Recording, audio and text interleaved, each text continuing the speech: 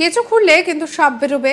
নাম না করে বিরোধী দলনেতা শুভেন্দু অধিকারীকে এবার আরও কড়া ভাষায় আক্রমণ সারালেন মুখ্যমন্ত্রী মমতা বন্দ্যোপাধ্যায়। তৃণমূল কাগজপত্র বের করছে বলে জানালেন মমতা বন্দ্যোপাধ্যায়। হলদিয়া ডেভেলপমেন্ট অথরিটির কোনো ল্যান্ড কত টাকায় বিক্রি হয়েছে তা আমরা দেখতে যাইনি। দীঘা ডেভেলপমেন্ট অথরিটি কত জমি দিয়েছে, ছশোটি হোটেল তৈরি হয়েছে, কার্যত হিসাব দিলেন মুখ্যমন্ত্রী।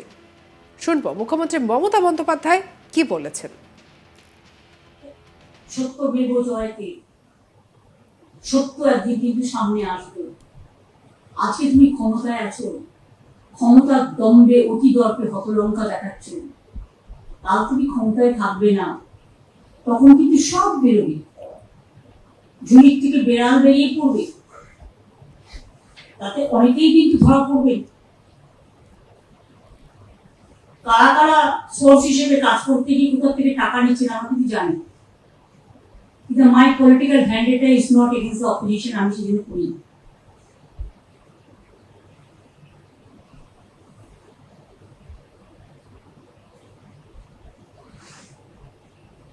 আমি একটু একটু ভাবছি, কারও কারও ষাটটা, সত্তরটা, আশিটা, নানান লোকে নানা বলে ট্রলার আছে। কত বেনামি বাড়ি আছে। পেট্রোল পাম্প আছে। কত কোটি কোটি টাকা আছে। তারা বড় বড় কথা বলে কি করে? আমরাও কাগজপত্র বের করছি। এতদিন করিনি।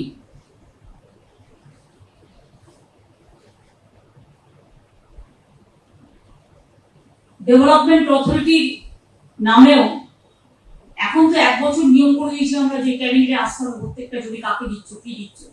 আমরা কি দেখতে গেছি হলদিয়া ডেভেলপমেন্ট অথরিটি যারা দায়িত্বে ছিলেন আগে। মন্ত্রী থাকাকালীন। কোনটা, কোন ল্যান্ডটা কত টাকায় বিক্রি করেছে? দীঘা ডেভেলপমেন্ট অথরিটি বানিয়ে দিলাম ভালো কাজ করার জন্য।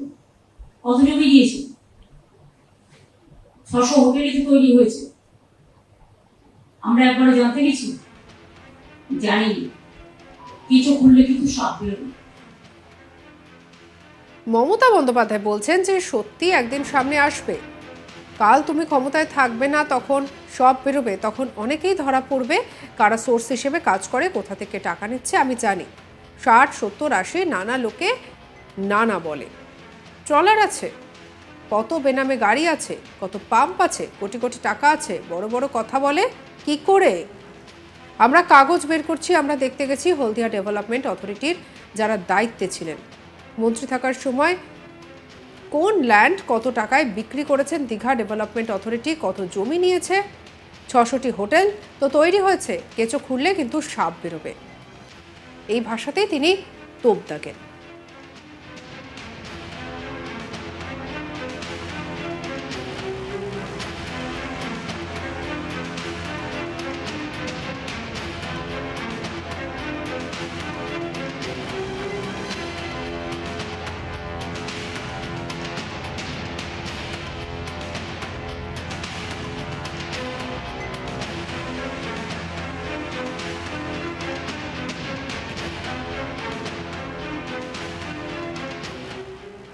আর তো তিন মাস। তারপরেই ভোটের দিন ঘোষণা হবে।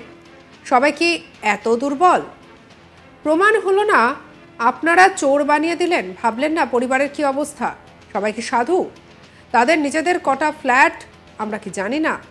তদন্ত আমরাও করতে পারি। লেবু কচলাতে কচলাতে তেতো হয়। মানুষ এর উত্তর দেবেন বলেও জানিয়েছেন মুখ্যমন্ত্রী। কি বলেছেন আর শুনব। বিজেপি পার্টির যারা এখানে আছে, তাদের কাছে আমরা কোশ্চেন করব। যে আপনাদের মধ্যে কতজন সাধু আছে? মানে সাধু মানে খুব অনেস্ট এবং কতজন কথায় কথায় কোটি কোটি টাকা উড়ায়? তার একটা লিস্ট তৈরি করুন তো।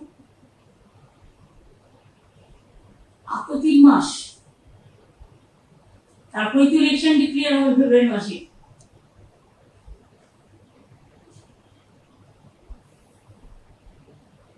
তো? সবাই এত দুর্বল। সবাইকে অ্যারেস্ট করলে পশ্চিমবঙ্গ সরকারকে আমাকে করতে দেবে? ভাবছে, সব মিনিস্টারকে অ্যারেস্ট কিছু না কিছু হলো না আপনারা বানিয়ে দিলেন একবার ভাবছেন, তার পরিবারটার কি অবস্থা? তার পরিজনদের কি অবস্থা? তার সতীর্থদের কি অবস্থা? আপনারা তো বলে দিচ্ছেন। সবাই কি সাধু যারা বলছে তাদের নিজেদের কটা করে ফ্ল্যাট আছে, জানি না আমরা? যারা এই কথাগুলো বলছে তাদের নিজেদের কত বেনামি প্রপার্টি আছে, জানি না আমরা? আয় করের টাকায় কারা বিদেশে গেছিল আমরা জানি না। আরও অনেক সংস্থা আছে, নামগুলো জানা আছে, কিন্তু আমরা পলিটিক্যাল ভ্যান্ডাটা হিসেবে কিছু করি করিনি।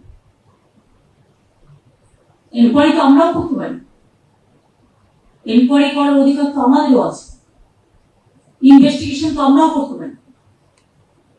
কিন্তু আমরা বলেছিলাম বদল চাই বদলার নয় তুমি যদি একতরফা করে যাও, লেবু কচলাতে কচলাতে তেতো হয় এবং সেই তেতো লেবুটা কিন্তু আমরা খেতে পাই না সুতরাং limitless beyond the sky sky high corruption নিয়ে যারা বসে আছে, তারা যদি কাউকে টার্গেট করে তাহলে মনে রাখতে হবে, এর প্রত্যুত্তর কিন্তু মানুষ দেবেন এবং দেওয়ার জন্য আগামী তৈরি। মমতা বন্দ্যোপাধ্যায় আরও বলছেন যে, বিজেপির পার্টির কাছেও আমরা প্রশ্ন করব, আপনাদের মধ্যে সাধু কে কে আছেন? কে কে কথায় কথায় কোটি কোটি টাকা ওড়ান? সবাইকে গ্রেপ্তার করবে? প্রমাণ হলো না, আপনারা চোর বানিয়ে দিলেন। ভাবছেন পরিবারের কি অবস্থা? যারা বলছেন তাদের নিজেদের কটা ফ্ল্যাট আছে, জানি না আমরা, তদন্ত আমরাও করতে পারি। লেবু কসলাতে কসলাতে তেতো হবে, মানুষ উত্তর দেওয়ার জন্য তৈরি। রেশন দুর্নীতিকাণ্ডে জ্যোতিপ্রিয় মল্লিকের গ্রেপ্তারের পরে বিভিন্ন সময় একাধিক বিষয় নিয়ে রেশন দুর্নীতির বিভিন্ন তথ্য সামলে তুলে এনেছেন বিরোধী দলনেতা শুভেন্দু অধিকারী। একই সঙ্গে তিনি বিভিন্ন বিষয় নিয়েও তুলে ধরেছেন। বিরোধীদের তরফে বারবার জ্যোতিপ্রিয় মল্লিকের সম্পত্তি, ফ্ল্যাট, হোটেল নিয়ে নানা ধরনের মন্তব্য করা হয়েছে। এবার সাংবাদিক সম্মেলন থেকে নাম না করে শুভেন্দু অধিকারীকেই আক্রমণ শানালেন মমতা বন্দ্যোপাধ্যায়।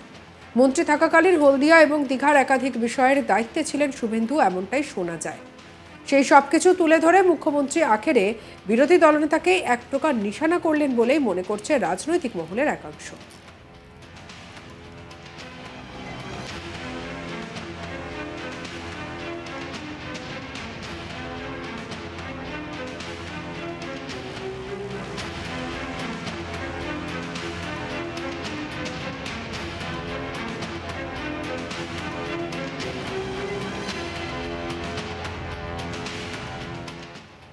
পরবর্তী আপডেট, অন্যান্য খবরের জন্য সঙ্গে রাখুন আজ তাক বাংলার ইউটিউব চ্যানেলকে। লাইক করুন শেয়ার করুন সাবস্ক্রাইব করুন। আমরা এখন রয়েছি হোয়াটসঅ্যাপেও তাই হোয়াটসঅ্যাপেও আজ তাক বাংলাকে ফলো করতে ভুলবেন না।